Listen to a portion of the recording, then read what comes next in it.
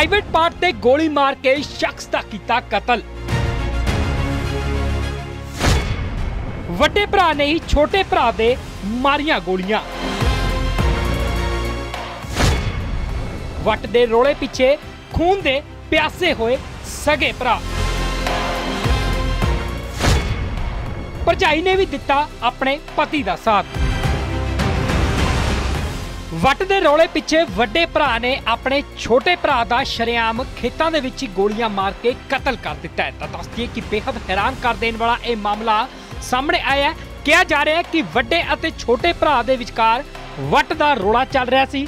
ਕਈ ਵਾਰ ਪੰਚਾਇਤ ਦੇ ਵਿੱਚ ਵੀ ਬੈਠ ਕੇ ਫੈਸਲਾ ਹੋਇਆ, ਪਰ ਗੱਲਬਾਤ ਸਿਰੇ ਨਾ ਚੜ ਸਕੀ। ਤਾਂ ਇੱਕ ਦਿਨ ਮੁੜ ਤੋਂ ਵੱਡਾ ਭਰਾ ਅਤੇ ਉਸ ਦੀ ਪਤਨੀ ਦੋਵੇਂ ਖੇਤਾਂ ਦੇ ਵਿੱਚ ਮੁੜ ਤੋਂ ਵੱਟ ਬਣਾ ਰਹੇ ਸੀ ਤੇ ਇਸ ਦਾ ਪਤਾ ਛੋਟੇ ਭਰਾ ਨੂੰ ਲੱਗ ਜਾਂਦਾ ਤਾਂ ਉਹ ਰਿਸ਼ਤੇਦਾਰਾਂ ਦੇ ਨਾਲ ਮੌਕੇ ਤੇ ਜਦੋਂ ਪਹੁੰਚਦਾ ਹੈ, ਪਹਿਲਾਂ ਤਾਂ ਵੱਡਾ ਭਰਾ ਕਹੀ ਦੇ ਨਾਲ ਹੀ ਉਸ ਦੇ ਉੱਤੇ ਹਮਲਾ ਕਰ ਦਿੰਦਾ ਹੈ ਤੇ ਬਾਅਦ ਦੇ ਵਿੱਚ ਕਿਹਾ ਜਾ ਰਿਹਾ ਕਿ ਜੋ ਉਸ ਦੀ ਭਰਜਾਈ ਹੈ, ਯਾਨੀ ਕਿ ਵੱਡੇ ਭਰਾ ਦੀ ਜੋ ਪਤਨੀ ਹੈ, ਉਹ ਖੁਦ ਗੱਡੀ ਦੇ ਵਿੱਚੋਂ ਤੀ ਰਿਵੋਲਵਰ ਕੱਢ ਕੇ ਲਿਆਉਂਦੀ ਹੈ ਅਤੇ ਆਪਣੇ ਪਤੀ ਨੂੰ ਪਕੜਾ ਦਿੰਦੀ ਹੈ ਤੇ ਕਹਿੰਦੀ ਹੈ ਕਿ ਨਵੇੜ ਤੋਂ ਰੋਜ਼-ਰੋਜ਼ ਦਾ ਹੀ ਕਲੇਸ਼। ਤਾਂ ਉਸ ਤੋਂ ਬਾਅਦ ਕਿਹਾ ਜਾ ਰਿਹਾ ਹੈ ਕਿ ਜੋ ਉਸ ਦਾ ਪਤੀ ਹੈ, ਯਾਨੀ ਕਿ ਵੱਡਾ ਭਰਾ ਹੈ ਜੋ ਉਸ ਦੇ ਵੱਲੋਂ ਪਹਿਲੀ ਗੋਲੀ, ਜੋ ਛੋਟਾ ਭਰਾ ਹੈ ਉਸ ਦੇ ਲੱਤਾਂ 'ਚ ਮਾਰੀ ਜਾਂਦੀ ਹੈ ਤੇ ਉਸ ਤੋਂ ਬਾਅਦ ਦੇ ਵਿੱਚ ਕਿਹਾ ਜਾ ਰਿਹਾ ਹੈ ਕਿ ਇੱਕ ਗੋਲੀ ਉਸ ਦੇ ਪ੍ਰਾਈਵੇਟ ਪਾਰਟ ਦੇ ਵਿੱਚ ਵੀ ਲੱਗਦੀ ਹੈ, ਜਿਸ ਤੋਂ ਬਾਅਦ ਛੋਟੇ ਭਰਾ ਦੀ ਮੌਕੇ ਤੇ ਹੀ ਮੌਤ ਹੋ ਜਾਂਦੀ ਹੈ। ਹਾਲਾਂਕਿ ਇਸ ਮਾਮਲੇ ਦੀ ਜਾਣਕਾਰੀ ਜਦੋਂ ਪੁਲਿਸ ਨੂੰ ਦਿੱਤੀ ਗਈ, ਤਾਂ ਮੌਕੇ ਦੇ ਉੱਤੇ ਪੁਲਿਸ ਪਹੁੰਚਦੀ ਹੈ ਤੇ ਮਾਮਲਾ ਦਰਜ ਕੀਤਾ ਜਾਂਦਾ ਹੈ ਤੇ ਕਿਹਾ ਜਾ ਰਿਹਾ ਹੈ ਕਿ ਕਰੀਬ 3 ਘੰਟੇ ਦੇ ਅੰਦਰ ਹੀ ਪਤੀ ਪਤਨੀ ਨੂੰ ਗ੍ਰਿਫਤਾਰ ਕਰ ਲਿਆ ਗਿਆ ਤਾਂ ਮਾਮਲਾ ਸ਼੍ਰੀ ਫਤਿਹਗੜ੍ਹ ਸਾਹਿਬ ਤੋਂ ਸਾਹਮਣੇ ਆਇਆ ਹੈ। ਸਿੰਘ ਨਾਮ ਦੇ ਵਿਅਕਤੀ ਨੂੰ ਉਸਦੇ ਸਗੇ ਭਰਾ ਜਿਸ ਦਾ ਨਾਮ ਹਰਭਜਨ ਸਿੰਘ ਸੀਗਾ ਜਿਸ ਦੀ ਉਮਰ ਤਕਰੀਬਨ ਅ, 45 ਸਾਲ ਸੀਗੀ ਉਸਦਾ ਅ, ਉਸਦੇ ਸਗੇ ਭਰਾ ਨੇ ਆਪਣੇ ਲਾਇਸੈਂਸੀ ਵੈਪਨ ਦੇ ਨਾਲ ਮਰਡਰ ਕਰ ਦਿੱਤਾ ਸੀਗਾ। ਇਸ ਕੇਸ ਦੇ ਦਾ ਪਿਛੋਕੜ ਇਸ ਤਰੀਕੇ ਸੀਗਾ ਕਿ ਇਹ ਜਿਹੜੇ ਦੋ ਭਰਾ ਸੀਗੇ ਇਹਨਾਂ ਦਾ ਜ਼ਮੀਨ ਦਾ ਇੱਕ ਵੱਟ ਨੂੰ ਲੈ ਕੇ ਰੌਲਾ ਸੀਗਾ। ਤੇ ਇਹਨਾਂ ਦਾ ਇਹ ਡਿਸਪਿਊਟ ਕਾਫੀ ਸਮੇਂ ਤੋਂ ਚੱਲ ਰਿਹਾ ਸੀਗਾ।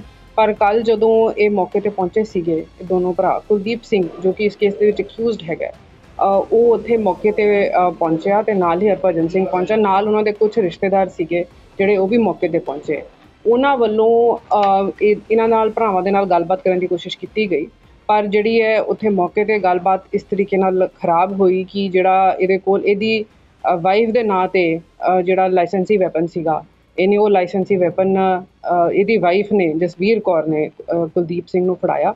ਤੇ ਕੁਲਦੀਪ ਸਿੰਘ ਨੇ ਇੱਕ ਘਾਤਕ ਹਮਲਾ ਉਹਦੇ ਤੇ ਕੀਤਾ। ਉਹਦੀ ਲੱਤ ਤੇ ਉਹਨੇ ਪਹਿਲਾਂ ਇੱਕ ਫਾਇਰ ਕੀਤਾ ਅਤੇ ਇਹ ਜਸਵੀਰ ਕੌਰ ਦੇ ਮੁਤਾਬਕ ਉਸਦੇ ਪ੍ਰਾਈਵੇਟ ਪਾਰਟ ਤੇ ਵੀ ਜਿਹੜਾ ਇੱਕ ਫਾਇਰ ਕੀਤਾ ਗਿਆ। ਇਸ ਤੋਂ ਬਾਅਦ ਉਸ ਨੂੰ ਸਿਵਲ ਹਸਪੀਟਲ ਅਮਲੋ ਲੈ ਕੇ ਗਏ, ਜਿੱਥੋਂ ਬਾਅਦ ਉਹਦੀ ਉੱਥੇ ਡੈਥ ਹੋ ਗਈ। ਮੈਂ ਇਹਦੇ 'ਚ ਖਾਸ ਤੌਰ ਤੇ ਦੱਸਣਾ ਚਾਹੂੰਗੀ ਕਿ ਸਾਡੀ ਜਿਹੜੀ ਪੁਲਿਸ ਦੀ ਟੀਮ ਹੈਗੀ ਹੈ ਜਿਸ ਨੂੰ ਲੀਡ ਕਰ ਰਹੇ ਸੀ ਐਸਪੀ ਡੀ ਸਾਹਿਬ ਡੀਐਸਪੀ ਡੀ ਸਾਹਿਬ ਅਤੇ ਡੀਐਸਪੀ ਅਮਲੋ ਸਾਹਿਬ ਸਮੇਤ ਜਿਹੜੀ ਥਾਣਾ ਅਮਲੋ ਦੀ ਪੁਲਿਸ ਪਾਰਟੀ ਉਹਨਾਂ ਨੇ ਇਹਦੇ 'ਚ ਬਹੁਤ ਸੂਝ-ਬੂਝ ਨਾਲ ਕੰਮ ਲਿੱਤਾ ਤੇ 4 ਘੰਟਿਆਂ ਦੇ ਵਿੱਚ ਜਿਹੜਾ ਇਸ ਕੇਸ ਦਾ ਪ੍ਰਾਈਮ ਅਕਿਊਜ਼ਡ ਸੀਗਾ ਉਹਨੂੰ ਅਰੈਸਟ ਕਰਕੇ ਉਹਨੂੰ ਕਸਟਡੀ 'ਚ ਲਿੱਤਾ। ਕਸਟਡੀ 'ਚ ਲੈਣ ਤੋਂ ਬਾਅਦ ਜਿਹੜਾ ਕਿ ਵਾਰਦਾਤ ਦੇ ਵਿੱਚ ਵੈਪਨ ਯੂਜ਼ ਹੋਇਆ ਸੀਗਾ ਉਸ ਦੀ ਵੀ ਰਿਕਵਰੀ ਕੀਤੀ ਗਈ ਹੈ। ਮੈਂ ਦੱਸਣਾ ਚਾਹੂੰਗੀ ਕਿ ਇਹ ਜਿਹੜੀ ਜਸਵੀਰ ਕੌਰ ਹੈ, ਇਸ ਦੇ ਨਾਂ ਤੇ ਦੋ ਵੈਪਨ ਸੀਗੇ।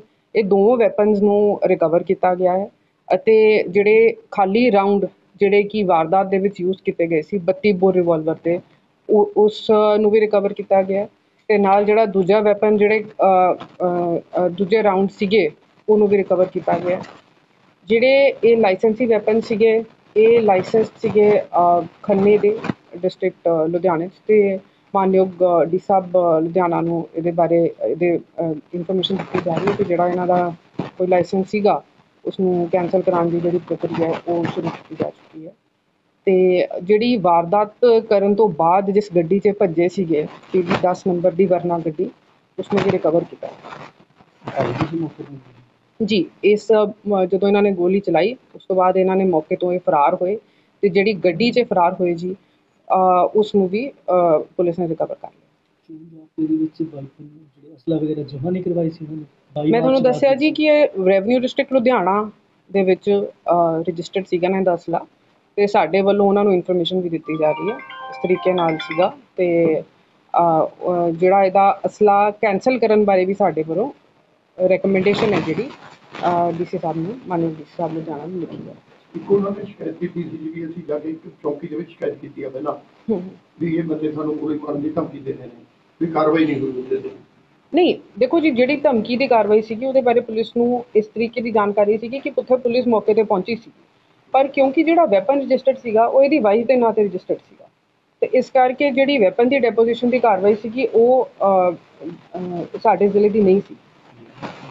ਮੈਂ ਮੈਂ ਕੋਲ ਲੱਗੀ ਵੀ ਕਿੰਨੇ ਇਹਨਾਂ ਤੋਂ ਕੀ ਕੀ ਬਰਾਮਦ ਹੋਇਆ। ਜੀ, ਇਹਨਾਂ ਕੋਲੋਂ ਦੋ ਵੈਪਨ ਨੇ ਜੀ। ਵੈਪਨ ਇੱਕ 32 ਬੋਰ ਦਾ ਤੇ ਇੱਕ 12 ਬੋਰ ਦੀ ਜਿਹੜੀ ਡਬਲ ਬੈਰਲ ਗਨ ਹੁੰਦੀ ਹੈ। ਦੋਨੋਂ ਲਾਇਸੈਂਸੀ ਸੀਗੇ। ਤੇ ਨਾਲ ਜਿਹੜੇ ਖਾਲੀ ਖੋਲ 4 ਅਤੇ ਜਿਹੜੇ, ਦੂਜੇ ਰਾਉਂਡ ਨੇ 6 ਜਿਹੜੀ ਡਬਲ ਬੈਰਲ ਗਨ ਉਹ ਦੋਨੋਂ ਰਿਕਵਰ ਕੀਤੇ ਨੇ। ਤੇ ਨਾਲ ਹੀ ਜਿਹੜੀ ਵੈ- ਜਿਹੜਾ ਜਿਸ ਜਿਸ ਗੱਡੀ ਦੇ ਫਰਾਰ ਹੋਏ ਸੀਗੇ, ਤੇ ਜਿਸ ਗੱਡੀ ਦੇ ਵਿੱਚ ਇਹਨਾਂ ਦੇ ਵੈਪਨ ਸੀਗੇ ਮੌਕੇ ਦੇ ਦੌਰਾਨ, ਉਹਨੂੰ ਵੀ ਰਿਕਵਰ